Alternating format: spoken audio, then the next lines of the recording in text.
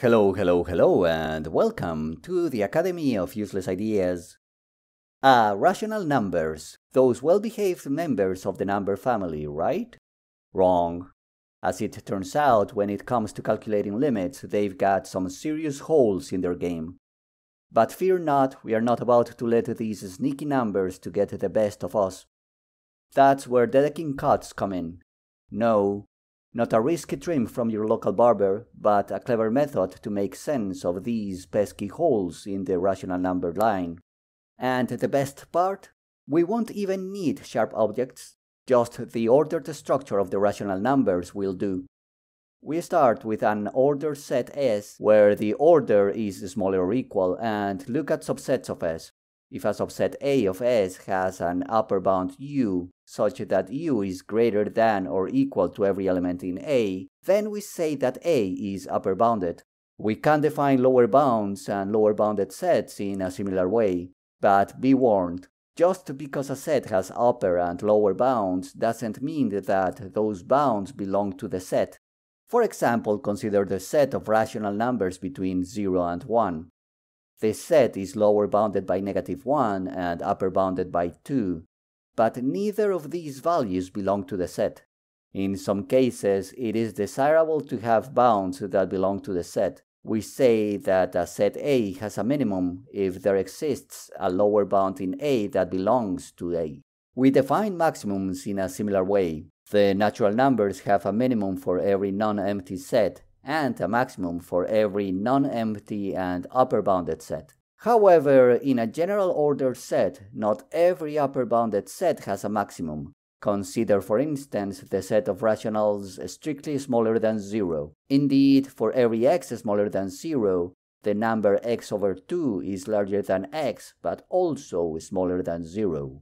Lastly, we've got the minimum of a set of upper bounds of A which we call the least upper bound or supremum of A, and the maximum of the set of lower bounds of A is the greatest lower bound or infimum of A. Man, those terms are mouthful, but that's what we are dealing when it comes to math lingo. And to make things even more confusing, mathematicians like to shorten them to sup and inf. It's like they are trying to keep their little club exclusive or something. So how can we use these definitions to identify the holes in an ordered set? Well, let's take a look. A non-empty and upper bounded set C is called a Dedekind cut if it satisfies two conditions. Firstly, it's closed downwards, which means that if C prime is smaller than C and C is in capital C, then C prime is also in capital C. And secondly, capital C doesn't have a maximum. In the rational numbers, some cuts have a supremum and some do not. The cuts without a supremum are precisely the holes of Q. In other words, the existence of holes in the rational number line is closely related to the fact that not every non-empty and upper bounded set has a least upper bound. An ordered set is said to have the supremum property, or the least upper bound property, if every non-empty upper bounded set has a supremum. In other words, if we take any subset of an ordered set that has an upper bound, then it must have a least upper bound as well. The key difference between the rational numbers and the real numbers lies in their supremum properties. While the real numbers have the supremum property, the rational numbers do not. This is similar to how the integers have the property of having additive inverses, while the natural numbers do not have that property. In order to prove that the real numbers have the supremum property, we must construct them from the rationals. One approach to achieve this is by defining the real numbers as the Dedekind cuts of the rationals. However, this construction can be perplexing as it implies that each real number is a set containing infinitely many rational numbers. To illustrate, the real number 1 corresponds to the set of all rational numbers that are less than the rational number 1.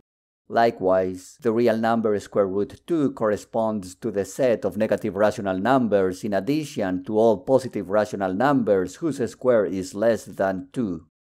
It's worth noting that we can identify each rational number q with the set of all rational numbers smaller than q. With this identification, we can view the rational numbers as a subset of the real numbers. Additionally, we can observe that the rational numbers are exactly the Dedekind cuts that have a supremum in the rational numbers.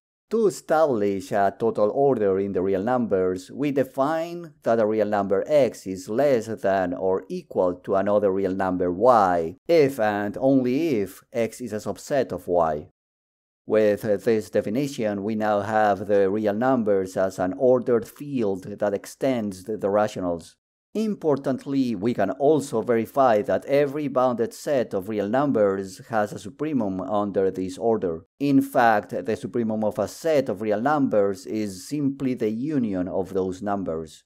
The construction of the real numbers requires the definition of addition and multiplication, to define the addition of two real numbers a and b, we consider the sets corresponding to a and b and define the sum of a and b as the set of all elements alpha plus beta, where alpha is a member of the set corresponding to a and beta is a member of the set corresponding to b. Similarly, multiplication of A and B is defined as the set of all products of elements from their corresponding sets. To ensure that addition and multiplication satisfy the field axioms, we need to verify that they are closed under addition and multiplication, are associative, commutative, and have identity and inverse elements.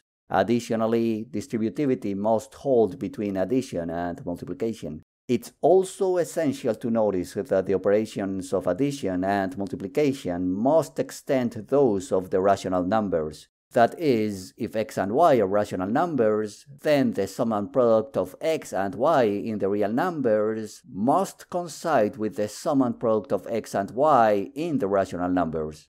This is important because we want the real numbers to be a natural extension of the rational numbers. While constructing the real numbers may seem as daunting as climbing Mount Everest with a backpack full of rocks, taking the time to verify all the details is essential. But do not worry, the view from the summit is worth it. The result is a remarkable theorem. There exists an ordered field that extends the rational numbers and satisfies the least upper bound property. And believe it or not, from this seemingly dry and boring theorem springs forth the entire wondrous world of calculus. So strap on your boots, pack your bags, and let's get climbing.